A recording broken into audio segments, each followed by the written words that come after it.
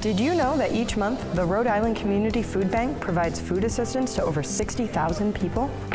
I'm Kaz Bell for Patriot Subaru of North Attleboro. During Subaru's Share the Love event, Subaru will donate $250 for every new car sold to one of five charities, including a hometown charity selected by the dealer. Patriot Subaru has designated the Rhode Island Community Food Bank to help them continue to serve the community in so many ways. Share the love, Patriot Subaru, Route 1 North Attleboro.